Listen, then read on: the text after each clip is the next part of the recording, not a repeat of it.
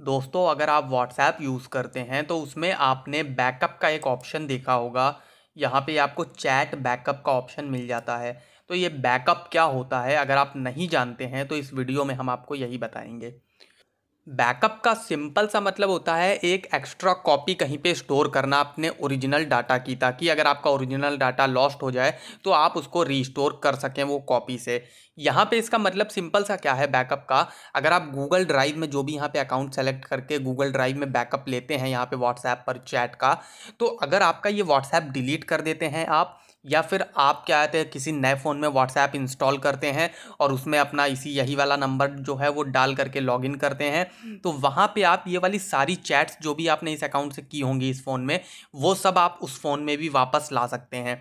लेकिन अगर आपने बैकअप नहीं लिया होगा तो उस फ़ोन में आपकी सारी चैट्स आप वापस नहीं ला सकते। तो ये बैकअप का मतलब होता है अगर वीडियो से हेल्प हुई हो तो वीडियो को कर दीजिए लाइक चैनल को कर लीजिए सब्सक्राइब एंड बेल आइकन को प्रेस ऐसे ही और भी वीडियोस देखने के लिए।